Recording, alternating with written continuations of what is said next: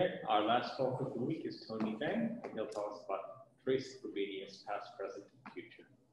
Okay, thanks for the invitation to speak. I know it's been a long week, so I'm going to be talking about something which I think is relatively naive.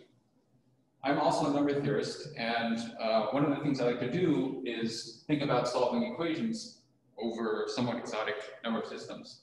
So I'd like to warm up in particular by thinking about counting how many solutions this equation has over the field of p elements.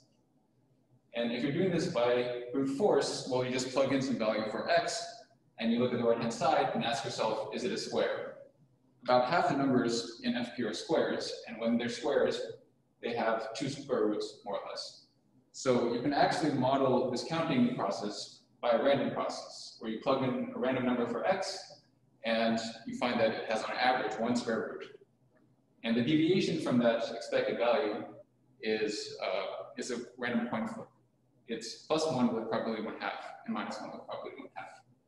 So this leads you to suspect that there should be, since there's p possible values for x, about p solutions with an, uh, an error on the order of magnitude of the square root of p.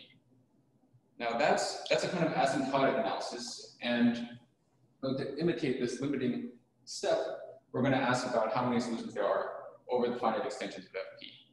And the same analysis applies to suggest that there should be about p to the n solutions with a deviation of about uh, p to the n over 2.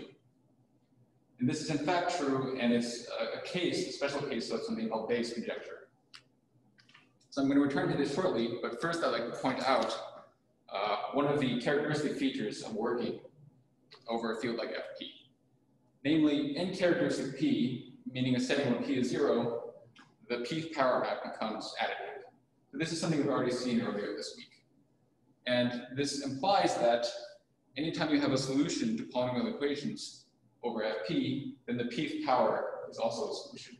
Because to say that A comma B is a solution is to say that some polynomial in A and B is zero, and therefore its Pth power is also zero, and then you can distribute this Pth power over the addition and multiplication. So to summarize, um, over Fp, there is a symmetry of the space of solutions to polynomial equations, which sends a comma b to a to the p comma b to the p. And this symmetry is called the Frobenius endomorphism. All right, so now I'd like to return to this story that we started out with. Here I analyzed some particular equation, but actually there's a much more general story. So there's a statement uh, for more complicated systems of equations uh, called Weil's conjecture, and it was proved by Deligne some number of years ago. And I'm not going to say much about the proof, but I want to highlight that uh, early on, a key step is that one reinterprets this count of the number of solutions to equations as the trace of some power of Frobenius endomorphism on a vector space associated with Z. And this identity due to Grothendieck is what allows one to bring extra structure into this question. So it enables geometric and algebraic tools such as the ones that I've listed here. And I'd like to focus on this identity a bit more. I find it very interesting that uh, a seemingly innocent question about counting numbers of solutions to equations turns out to be really a question about an endomorphism of a vector space, which I think is a much more sophisticated concept. Um, so there are many applications in this style in the literature. And I'd like to ask what might be next in the story. And as this picture suggests, what I mean by next is in a kind of meta-mathematical sense.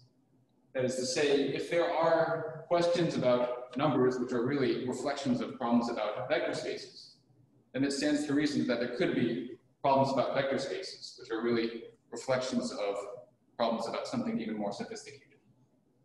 And I'm not committed to vector spaces here. I would regard rings or complexes of vector spaces and so on to be objects at a similar level of abstraction. So to help us guess what might be coming next, I've drawn, I've gone into the world numbers and vector spaces and drawn little snapshots of what I saw. And what you can see is that the difference is one of these things has arrows. So numbers, um, well, there's a notion of equality between numbers, but other than that, not much relation. Whereas vector spaces Vector spaces have rich maps between each other. And so some of you may see that what should come next in this hierarchy is the notion of a category. Categories have objects, they have maps between objects, and unlike vector spaces, which only really have a notion of equality between maps, categories have maps between maps. So in fact, um, Ben-Zvi and Nadler and Gaitsgory have explained how that it's very natural to take the trace of an endomorphism of a category. Um, and it behaves as we anticipated. For some types of categories, the answer will be a vector space. For other types of categories, the answer will be a ring. and it's not too hard to write down the construction actually. One can do it in a couple of short lines with the caveat that it depends on a couple of not so short orange books written by Lurie developing sort of the theory of higher categories. Okay, so I'm a concretely minded person and I'm looking at this and wondering, well, what does this mean for stuff that I can wrap my head around? I'm going to be telling you about a couple of applications, which I think are illustrative of what we can do at present. So uh, one type of application is exemplified by this, a new categorical proof of the Hirzebruch-Riemann-Roch theorem. I wouldn't say that it's uh, easier proof. I, in fact, maybe I would say it's the hardest proof, but it has a certain virtue that it makes this formula seem like it comes from some really um, simple categorical principle, and the, the compl complications that arise, such as Todd classes and so on, uh, are found in the kind of algorithmic process of taking the trace. Okay, another type of application is uh, the work of Xiao Zhu on the Tate conjecture for products of special fibers or Shimura varieties. There's some 200 pages of papers here, and if you read them, you will not learn what a categorical trace is. But uh, really what's going on is they write down some very complicated construction, which can be seen as secretly coming from a much simpler construction at the level of categories. And again, the point is that the complication arises in this kind of algorithmic step of taking the trace. So what we've seen is that you can use this categorical notion of a trace to, to predict what should be true, to heuristically derive instructions, to conceptualize certain kinds of complicated calculations. But what I personally don't know how to do at present with it is to prove statements about really concrete objects that can't be proved as also by concrete methods. Um, that's not to say that category theory at large isn't useful for such things. It's extremely useful, of course, for proving things about numbers and vector spaces. But I'm just focused on the more narrow question of, uh, I guess there's some property of categories such that when we take the trace, we see some totally new property about vector spaces. I don't know of any such examples right now, but I'm going to be telling about something that might be an example in the near future. Okay, so I'm going to, I was asked to present an open problem in this talk, and I'm going to do that now. Recall that a Lie algebra, G, is some vector space, which you can think of as a vector space of matrices, uh, which has a notion of commutator, or in other words, Lie bracket. So for example, such things are classified over the complex numbers. Uh, one type of the algebra is the Lie algebra of n by n matrices, whose commutator is the usual commutator of matrices. That's something called type A. There's also type B, which are uh, odd dimensional skew symmetric matrices, again, whose commutator is the usual commutator. And the commuting variety conjecture predicts that uh, if you take the commuting variety of pairs of elements in your Lie algebra, which, uh, whose commutator is zero, or in other words, which commute, then this thing should be reduced. And what that means is if you take the equations which define it, then uh, anytime you find an equation of the form f squared equals zero, you can also find the equation f equals zero. So maybe this would be a little more concrete in an example. If I'm talking about GL2, then we'd be looking at a system of eight variables, that's two two by two matrices, and we impose the equa equations required to make these matrices compute.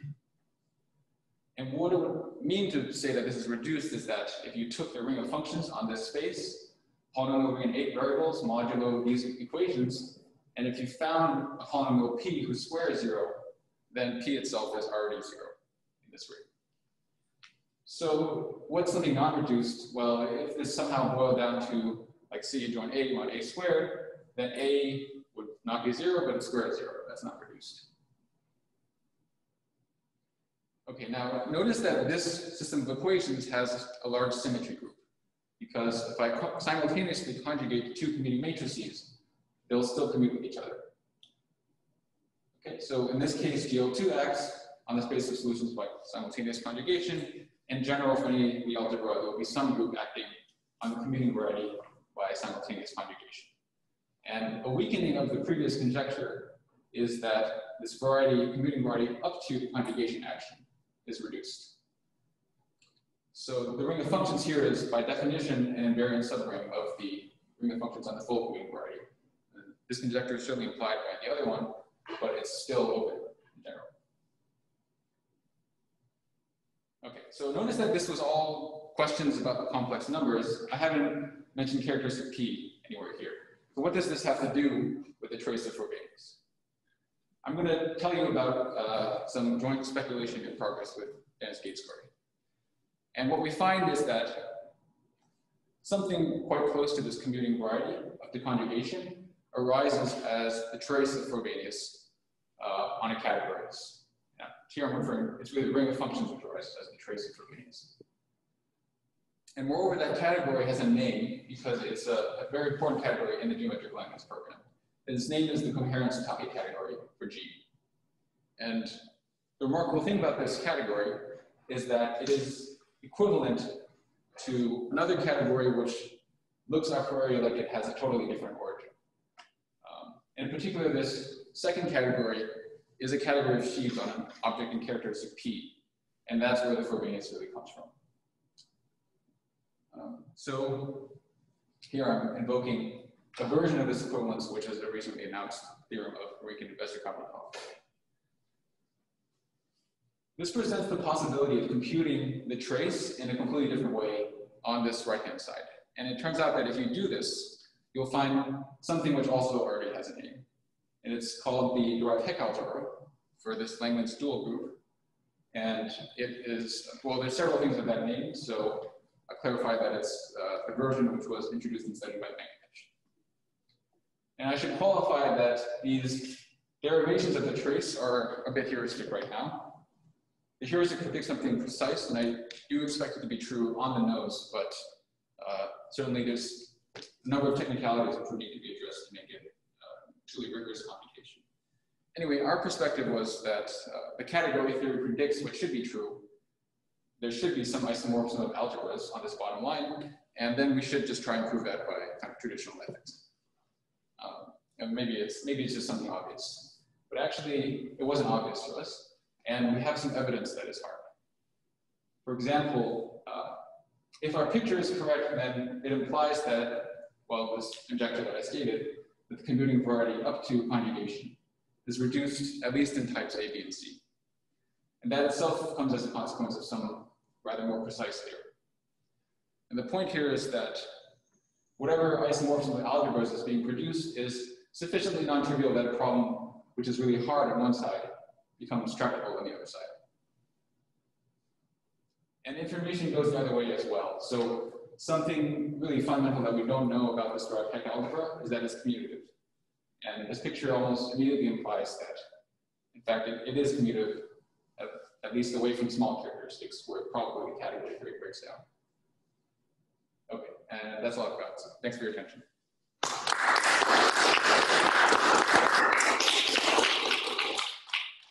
Any questions?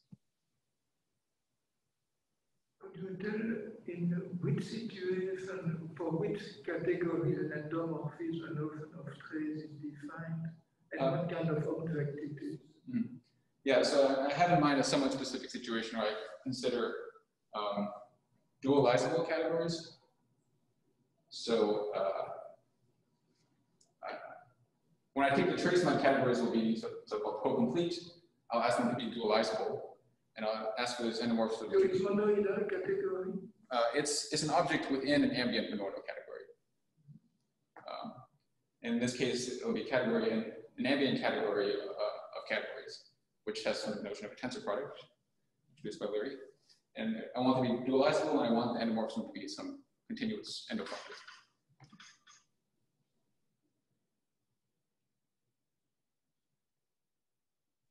And where does this reducedness come from on the other side? Um, so actually, for this thing up to conjugation, uh, there's a much better way to state the conjecture, which is that um, that the thing for G mod conjugation is is isomorphic to the thing for uh, Cartan subgroup mod or invariance under the loop, mod Bible. And for the Cartan subgroup, well, it's commutative to begin with, so it's kind of obvious that the commutative variety is, is reduced. And so that's that's the kind of more precise thing I'm alluding to. Has the conjecture been checked by computer up to like orange numbers and stuff? Um, so this statement, I think, has been checked in type A. And uh, yeah, in other types, I'm, I'm not sure to what extent it has been checked uh, in, in examples. The conjecture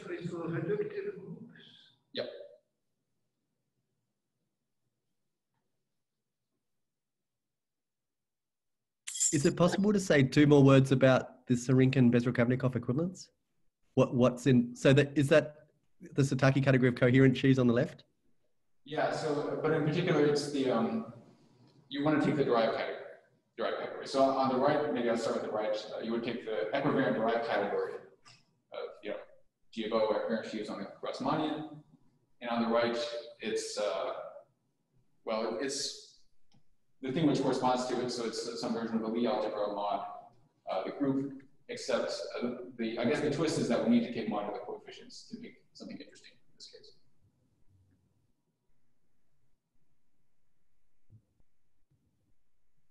Any other questions? Okay, let's thank the speaker and all the speakers for the week.